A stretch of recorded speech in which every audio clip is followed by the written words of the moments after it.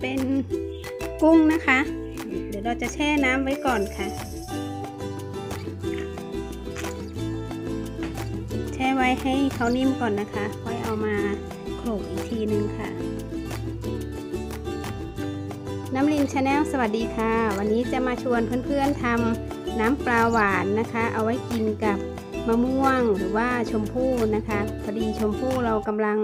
ลูกโตได้ที่แล้วค่ะ ก็เลยจะทำน้ำปลาหวานกิน วันนี้จะกินกับชมพู่นะคะ เพราะว่ามะม่วงเพิ่งหมดไปค่ะ เดี๋ยวเรามาดูวัสดุว่ามีอะไรบ้างนะคะ ก็จะมีพริกเนี่ยค่ะ เป็นพริกขี้หนูสด แล้วก็มีหอมนะคะ เดี๋ยวเราจะซอยค่ะ มีกุ้งที่เราแช่นะคะ เดี๋ยวจะเอามาโขลกมีน้ำปลาแล้วก็มีน้ำตาลค่ะ ส่วนผสมก็มีแค่นี้ค่ะ วันนี้ทำกินกันง่าย ๆนะคะ เดี๋ยวเรามาลงมือซอยหอมกันก่อนนะคะ กับพริกค่ะ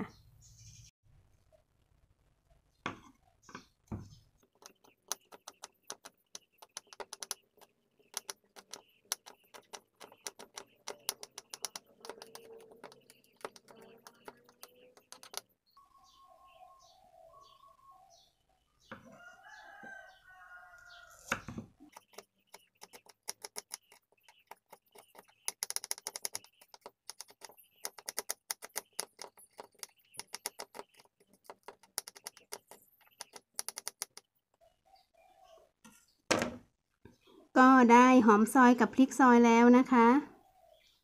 นี่เลยค่ะ เดี๋ยวเราจะมาโขลกกุ้งกันนะคะทุกคน กุ้งนี่ก็แช่ได้นานแล้วนะคะ ค่ะ เดี๋ยวเรามาโขลกกุ้งกันค่ะ ก็ได้แล้วนะคะ กุ้งบดของเราค่ะ เดี๋ยวก็จะมาเตรียมปรุงกันเลยนะคะ ทุกคน เดี๋ยวเราจะมาเนี่ยค่ะ ใช้กระทะตั้งไฟแล้วก็เอาน้ำตาลกับน้ำปลาเคี่ยวใส่กันก่อนนะคะ เพื่อนๆจะใช้เป็นน้ำตาลทรายแดง หรือว่าน้ำตาลปี๊บก็ได้นะคะ พอดีที่บ้านเรามีน้ำตาลทรายขาวค่ะ เลยจะใช้น้ำตาลทรายขาวนะคะ จะเอาเคี่ยวใส่กับน้ำปลานะคะ ให้เขาหอมนะคะค่ะนี่ก็เป็นน้ำปลา จะเป็นยี่ห้ออะไรก็แล้วแต่เรานะคะเนี่ยค่ะ แค่น้ำตาลกับน้ำปลาก็ละลายแล้วค่ะทุกคน เดี๋ยวเคี่ยวให้หอมนิดนึงนะคะค่อยใส่เครื่องลงไปค่ะ น้ำตาลกับน้ำปลาละลายเข้ากันดีแล้วนะคะ ก็ใส่กุ้งนะคะ ที่เราโขลกหยาบๆไว้เมื่อกี้นะคะ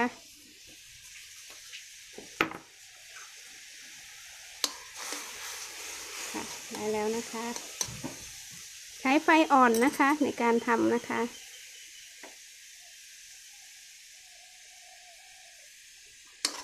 ให้กุ้งเราเข้ากันดีก่อนนะคะ กับน้ำนะคะเราไม่ได้โขลกให้ละเอียดนะคะ จะได้เคี้ยวเนื้อสัมผัสของกุ้งได้นะคะ เราทำทานกันเองนะคะโอเค กุ้งได้ที่แล้วก็ ใส่นี่เลยค่ะ หอมลงไปนะคะที่เราหั่นเมื่อกี้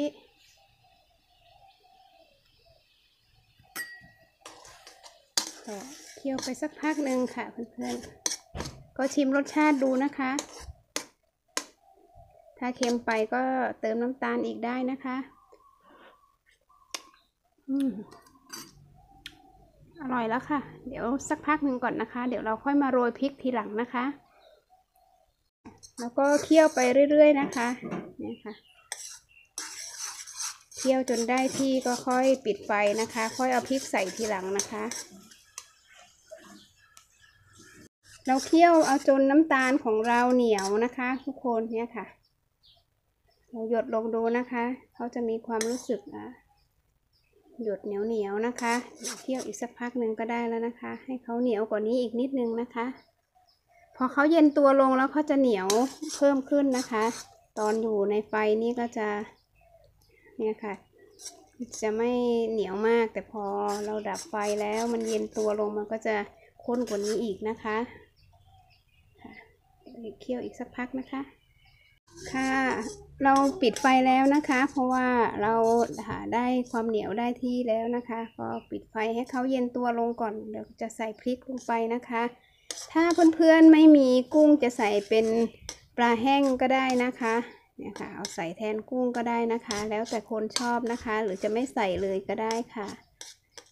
ค่ะ เรามีอะไรเราก็กินอย่างนั้นนะคะเนี่ยค่ะก็จะเริ่มหนืดขึ้นเรื่อย ๆ นะคะ เดี๋ยวเราทิ้งไว้ให้เขาเย็นตัวสักพักหนึ่งนะคะ แล้วค่อยเอาพริกสดลงใส่นะคะค่ะ น้ำจิ้มของเราก็เย็นลงบ้างนิดนึงนะคะ เราจะใส่ พริกที่เราสับไว้เนี่ยค่ะ ลงไปเลยนะคะ เป็นพริกขี้หนูเมื่อกี้นะคะ ทุกคนค่ะใส่แล้วก็คนได้เลยนะคะค่ะก็เดี๋ยวก็มาตักใส่ภาชนะแล้วก็ตักใส่ถ้วยแล้วก็เสิร์ฟกันได้เลยนะคะ เดี๋ยวเราจะไป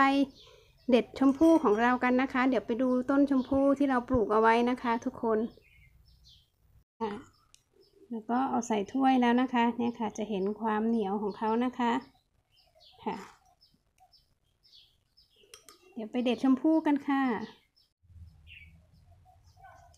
เดี๋ยวเราจะมาเลือกเอาชมพู่ลูกที่มันแก่แล้วนะคะ ไปกินกับน้ำจิ้มของเรา น้ำพริกปลาหวานที่เราทำเมื่อกี้นะคะนี่ค่ะลูกนี้ก็น่าจะได้ละ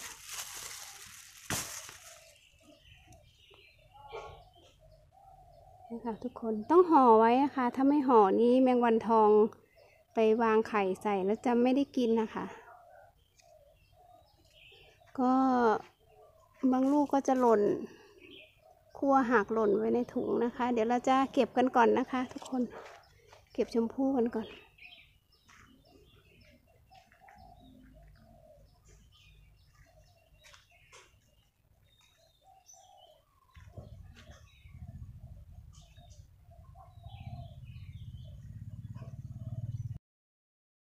ได้มาแล้วนะคะ ชมพู่ก็ยังไม่แก่จัดเท่าไหร่นะคะ แต่เราจะเอาไปกินกับพริกน้ำปลานี่ก็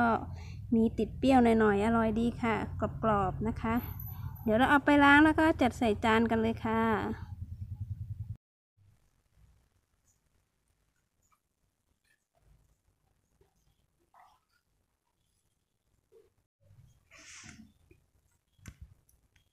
เดี๋ยวเรามาลองชิมกันดูนะคะ